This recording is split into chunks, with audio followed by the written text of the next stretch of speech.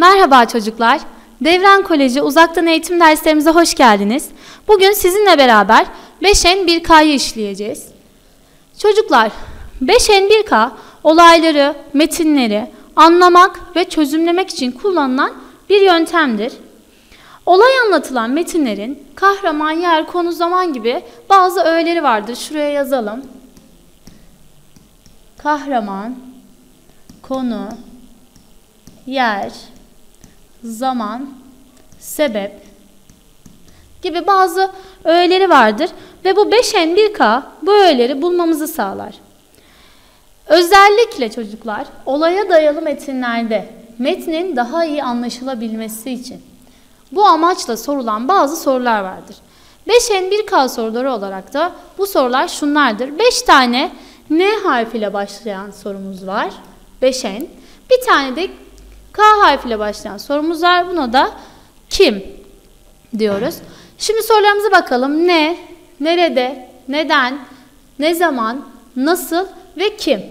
Bunlar bizim 5N1K'mız. Bunlar bizim olayları daha iyi anlamamız ve çözümlememiz için gerekli olan sorularımız.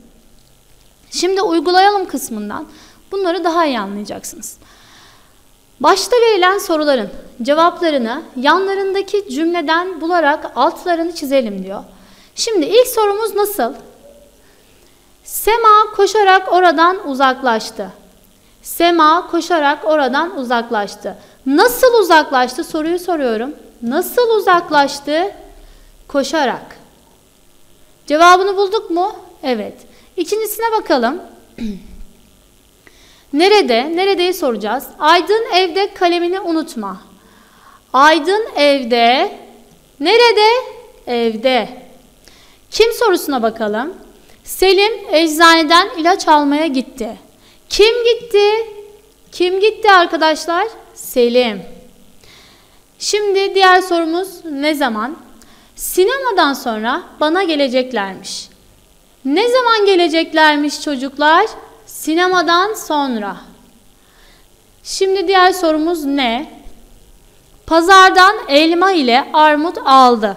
Pazardan ne aldı çocuklar? Elma ile armut. Neden sorusuna bakalım. Tatlı sevmediği için sütlaç yemedi. Neden? Tatlı sevmediği için yememiş. Anladınız mı çocuklar? Şimdi sorumuzu soruyoruz. Genel, genelde sorumuzu yükleme sorarız çocuklar. Uzaklaştı. Nasıl uzaklaştı? Koşarak. Aydın evde kalemini unutma. Nerede unutma? Evde unutma. Selim eczaneden ilaç almaya gitti. Kim gitti? Selim gitti. Sinemadan sonra bana geleceklermiş. Ne zaman geleceklermiş? Sinemadan sonra. Pazardan elma ile armut aldı. Ne aldı? Elma ile armut aldı. Neden? Sorusuna bakalım. Tatlı sevmediği için sütlaç yemedi. Neden yemedi çocuklar? Tatlı sevmediği için yemedi. Fark ettiyseniz soruyu genelde yükleme soruyorum. İş ve eylem bildiren sondaki yükleme soruyorum. Evet şimdi aşağıdaki e, sorumuza bakalım.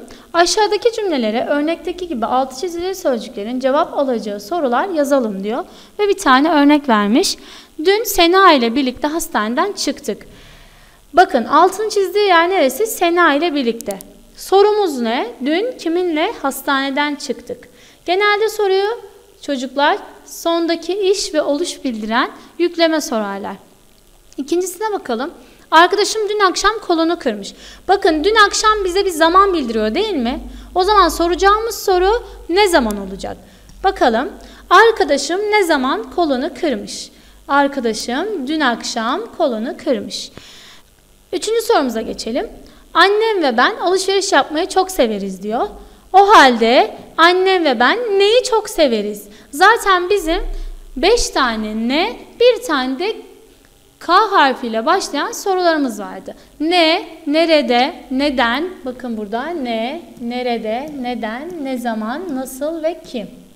Bunlara baktığımızda annem ve ben neyi çok severiz derken ki neyi, burada arkadaşım ne zaman kolunu kırdı ve dün kiminle hastaneden çıktık sorularını, cevaplarını daha net ve anlaşılır bir şekilde öğreniriz çocuklar.